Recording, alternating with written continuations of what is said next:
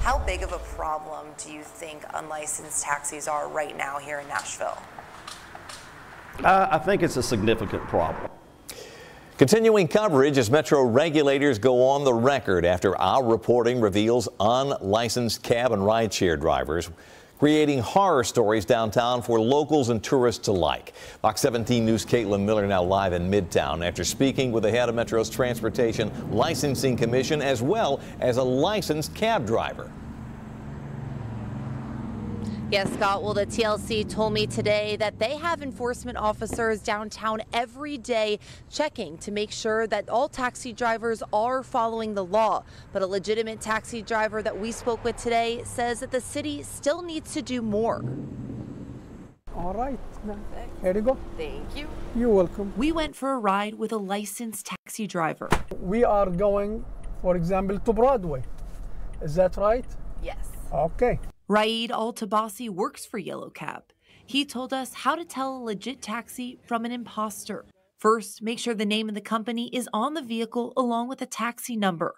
And watch for this. I have to have my meter start before I start running. Al Tabasi says unlicensed are hurting their reputation and bad for business. The overcharging people and nobody ask them why, nobody stop them, and nobody say anything to them. After weeks of calls, TLC Director Richard Rooker spoke with me about this growing problem. We've been hearing the horror stories from tourists, even legitimate taxi drivers. What's the TLC doing to address this safety concern? Well, we are we are aware of the safety concern, and we have enforcement officers that are constantly uh, on Broadway, monitoring Broadway, monitoring all the downtown core. But the cab companies we've talked with say it's not enough.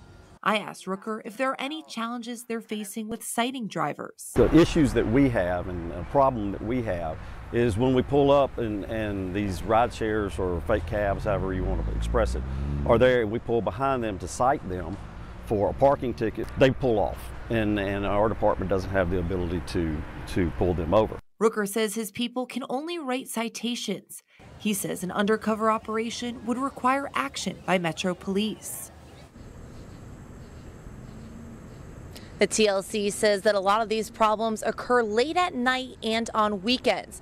Now, Rooker speculates a lot of these legitimate taxi drivers return back downtown after work hours working illegally. But again, none of these drivers have been caught yet. Reporting live from Midtown, I'm Caitlin Miller, Fox 17 News, your Code Red station.